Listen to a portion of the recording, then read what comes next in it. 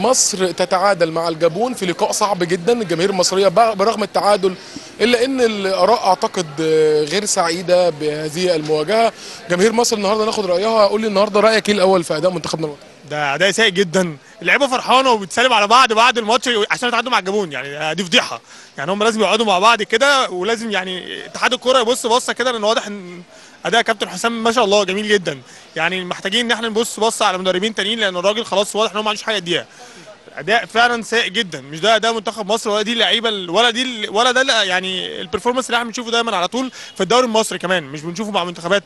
لا محتاجين اعاده تاني لهيكله الدوري يعني المنتخب بأسرع وقت. ده إحنا عايزين فعلا نبقى في كأس العالم. مش جايين كده بنقضي وخلاص. النهارده التشكيل شايف منتخبنا يعني كان ينقصه مين في التشكيل عشان يكون بالشكل اللي إحنا عاوزينه؟ هي الفكرة كلها إن طارق حامد ليه ما يلعبش ماتش زي ده؟ انت في ماتش في الجابون على ارض الجابون تمام؟ انت محتاج حد يمسك نص الملعب. تمام؟ حامد مش لاسباب فنية لكن بنتكلم على التشكيل الناس بتنتقد. لا هي التشكيل كله أساسا أنت عندك لعيبة في مصر تمام؟ تقدر إن هي تأدي أكتر من كده. سيبك بقى من ضغط بقى ضغط الموسم سواء ضغط المباريات أو الكلام ده كله ولكن الفكرة كلها في طريقة كابتن حسام البدري في إدارة التشكيلة اللي معاه. الفكرة كلها هو مش عارف يحدد كل واحد ال position بتاعه إيه كل واحد ال position بتاعه فين. فهي دي الفكرة كلها. طب صلاح ما كانش موجود الماتش اللي فات دلوقتي موجود الماتش ده. فين بقى؟ فين الكورة؟ يا جماعة إحنا عايزين نوصل كأس عالم. عايزين بلاش بقى جو بقى إن إحنا نعمل أداء مشرف والكلام ده. لا إحنا عايزين نوصل فعلا إن إحنا نكون موجودين في كأس العالم ونحقق مركز إن شاء الله بإذن الله. أسألك سؤال مهم. يعني أنت عاوز توصل كأس عالم ولا عاوز أداء ووصول؟ لأن في بيقول لك إحنا عاوزين النتيجة قبل الأداء. لا أنا عايز الاثنين عايز المنتخب يبقى اداؤه كويس وعايز إحنا نكسب برضك ون... ونلعب كورة المنتخب النهارده وحش ولا دفاع ولا هجوم ولا أي حاجة. أنا هو اسوء منتخب مثلا على مدار 20 سنة شفناه. يعني المنتخب وحش جدا جدا جدا.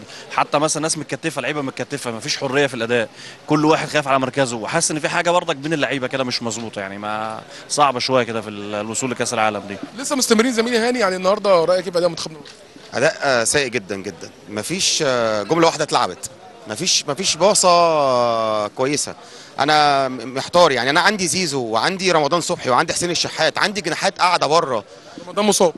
رمضان مصاب؟ طب طب حسين الشحات مش مصاب. زيزو في فورمة عالية جدا. ليه ما كانش ليه ما كانش ينزل؟ أنا بصراحة يعني قاعد زعلان جدا وأنا بتفرج على منتخبنا. مش ده منتخبنا يعني. إحنا عندنا لعيبة الكواليتي بتاعتها عالية قوي. ليه كده؟